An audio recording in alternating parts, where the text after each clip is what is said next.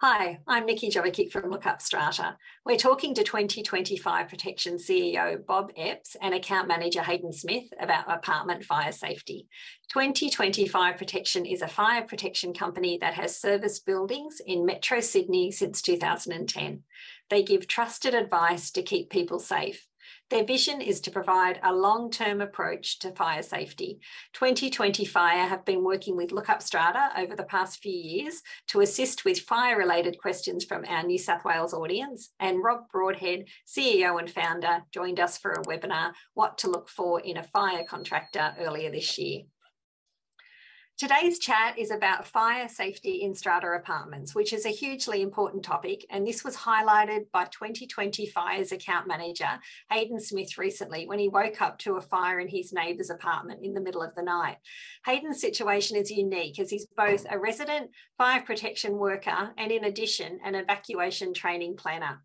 Haydn teaches people what to do in a fire situation every day, but how did that compare to the reality of a real fire? We invited him here to share with you what he experienced that night as a resident in an apartment fire, how his fire training assisted, and how the live situation differed from the theory. Thanks, Haydn. Thanks so much for joining us today. Appreciate you having me. Um, yeah, the incident took place a, a, couple of weeks ago now. It happened uh, during the night, so I was asleep at the time. Uh, we were actually awoken by the uh, the young girl who was house sitting for the owners. So unfortunately, the owners weren't even home at the time. Um, she had noticed the fire had started in the kitchen. Um, and like anyone would in that instance, she panicked a bit and she started running out and knocking on other units' doors. So uh, my partner woke me up uh, at that stage. I'd looked uh, across the, the hall and saw that the kitchen had caught fire. Uh, so I guess, I, again, just lucky with my experience and knowledge, I instructed both of the girls to sort of head downstairs um, and, and for them to grab me the common area extinguisher uh, at the same time. So by the time I'd gotten into the kitchen there, the, the flames had grown to probably in excess of six feet. They were taller than me. Um, the fire had originated underneath the kitchen sink. Uh, so luckily with the extinguisher that I had, I was able to extinguish the fire. Uh, however, you know, just the nature of where it was, the kitchen chemicals that had already burnt out, um, it did create quite a lot of toxic smoke uh, and everything. So by the time the fire was extinguished, uh, the, the, smoke that filled the unit was enough to set off both the, the smoke alarm within the unit and the, the, common area detection system out in the lobby. Um, thankfully, the system that the, the building has does have an automatic fire brigade uh, alarm signaling equipment. So the brigade had been at, you know, uh, dispatched, uh, which was really good. Um, in terms of yeah, they were able to then get up and, and, verify that the fire had been extinguished. However, just due to the sheer amount of smoke and uh, carbon dioxide in the area, there was there's quite a lengthy time that the fire brigade needed to clear both the lobby and the unit itself uh, of the smoke. Um, and yeah, so from I guess the learnings from it, um, you know, we're, we're really just how quickly a fire can grow. So you know, in the in the weeks that have followed, we've been able to sort of work out how the fire originated. So the owners had actually taken the liberty of removing their hot water service unit, uh, the large one that they had, and installing smaller instant water boilers in their kitchen, laundry, and, bathroom. So the young house sitter was uh, using the shower, so had activated the system. The boiler underneath the kitchen sink had faulted, and the electrical spark caused the uh, caused the fire in the first instance. Now, unfortunately for these owners, um, they weren't really to know, but the kitchen sink is also underneath the kitchen sink is where you house a lot of your cleaning chemicals and dishwashing detergent and all of that. So uh, the resident at the time did, did mention that when she got out of the shower, she heard a lot, loud bang, and that's what kind of you know, forced her to have a look in the kitchen and see what had happened. At that stage, she noticed smoke coming out of the kitchen, uh, the kitchen cupboard underneath the sink. Uh, and probably the only mistake she made was opening that cupboard to see what was what the, what the issue was. That obviously introduced a lot more oxygen to the fire and allowed it to flash over. So um, the things in terms of the building uh, that we noticed as a result of the fire uh, were probably probably two things. The, the building had a faulty mechanical air handling system. So when that when the detection system was triggered, that unfortunately went all into fault. Uh, so with the fire brigade trying to clear the smoke out of the lobby and the unit itself, um, trying to utilise the the existing fans and push that air out through the fire stairs once they were cleared was just impossible. So the length of time that residents, especially from that level, were stuck outside waiting for the fire brigade to clear the smoke uh, as they had no assistance from the mechanical air handling system. Um, and then secondly, with the occupant warning system, despite um, you know it, it, activating, it just simply wasn't loud enough. So of the six units on on level two, um, only the unit that was affected, obviously they were awake, they noticed the fire, and uh, myself and my partner were the only ones that, that were alluded to it. Everyone else was asleep. So, you know, whilst they are able to hear the alarms when they're tested, uh, completely different story when people are asleep. So it's really important that um, you know, a common common complaint we get from residents when there's false alarms is, you know, we, we believe our system is too loud. It's really frustrating. Can this be turned down? Uh, the, the biggest learning from it is just to remember these systems aren't designed to sort of be annoying whilst you're awake. They're, they're meant to alert you whilst you're asleep. So it's really imperative that, that you know these systems are loud. So uh, yeah, four units on the on the on the affected floor. The residents were actually instructed to stay inside of their units because by the time they were alerted to the fact that there'd been a fire, there was too much smoke in the area to to safely get them out of the building. So um, yeah, that's my story. Okay, so you're you're trained. You talk to people every day about what to do in these situations, and then you're in the situation yourself.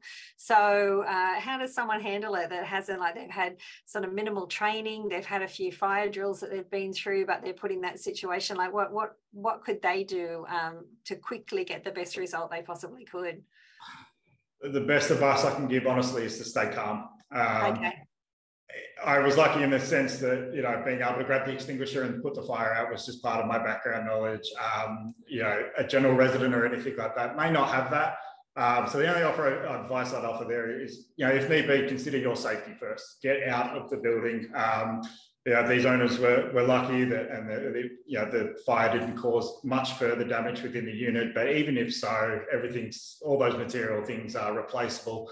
Um, so yeah, in the instance that you're not sure, you know, keep calm and just evacuate the area and get yourself to safety. The fire brigade will arrive with their uh, their equipment and their PPE and everything like that, and do what they're trained to do. Um, I guess the thing that I have benefited from is yeah, a lot of experience and, learnings from the industry that I've been in. Um, so I think it is imperative for, for all residents uh, or even business occupants uh, just to familiarise themselves with the use of portable fire extinguishers, how to safely evacuate a building, what to do in the event of a real incident. So. And I know for a lot of residents, it's almost like an abstract concept that they will be woken up in the middle of the night with a with a fire or dealing with a fire. So it's to make yourself aware that it could definitely happen to anybody, and um, and it could happen at any time as well. So yeah, I'm sure that that's um, yeah, people just don't think about it. They think they'll go their whole apartment life, which they might, um, and not be faced with that. But if they do, it's something that you have to really think quickly. Um, okay, that's really excellent. Thank you so much for that. And then, Bob, we spoke quickly when I had a, a talk to Rob um, about about contacting you and having a chat with you. One of the things he did was send me through a, a few um, links to some videos about the difference between properties with fire sprinklers and without fire sprinklers, and we'll share those links below these videos when we when sorry this video when we send it out to everyone to to read so they can watch those videos as well. But um, if you got anything that you'd like to add about what could have been done differently in the building or what, what buildings can look at to make sure that if this does occur, there's minimum damage and, um, and, and it's dealt with in the best possible way? Yeah, I think there's a couple of messages here, you know, and, and I, I, suppose the building is very lucky that Haydn was a was a was a resident there. Otherwise, it could have been a whole different situation, and we could be talking about, you know, not just a loss of building, but potential loss of life. I think, you know, and it, it also, unless you're in the industry, it's it's very uh, difficult for people to comprehend that you know when, when you are taking over a, a, or renting buildings is that you weren't sure that the building is compliant. It does have a current certificate. Um, so many old buildings are around or the buildings that have been turned into bed sits may not be fire compliant. They may be cheap, you know, for rent and so on and so forth. They may be affordable. Um, but, you know, I think it's it just drives home the message that, you know, cheap is not always best It definitely isn't best, but also just don't be afraid to ask those questions of your landlord or your strata management company. I was even at a, at a meeting with a strata company yesterday that actually, as, as Haydn raised the point, who you know who wanted us to turn down the audible alarms because the complaints that they have in the fire testing. It's you know it doesn't matter how you know it needs to be loud, it needs to be heard, you know it needs to be compliant, and people need to be able to evacuate. And I know for, for years, you know, we've always talked about, you know, with, with people, if you see a fire, you know, make one attempt to, to extinguish it. it. It just goes to show that somebody, even with Haydn's experience, you know, um, faced that, uh, you know, uh, flames that were taller than him, uh, and just the the level of smoke. No matter how much training you have, you know, unless you are in, you know, the fire brigade, you would uh, to encounter that sort of loss of oxygen, um, being sort of uh, overwhelmed by smoke, uh, the fear, the stress. It, it, it is overwhelming. So the best thing for people to do, you know, is where they can, is to evacuate, save life over property. Okay, excellent. All right, well, great information. Thank you so much for sharing that experience with us. I think it's um, invaluable for our audience to, to hear about how it actually happens in a real life, life situation. So we thank you so much for, for sharing the information. Thanks for joining us for this educational session. If you gained value from the information, please like this video. You can also engage further with Lookup Strata by subscribing to our YouTube channel or by being kept informed about Strata news via our regular newsletters. Our subscribe link is listed in the description box below.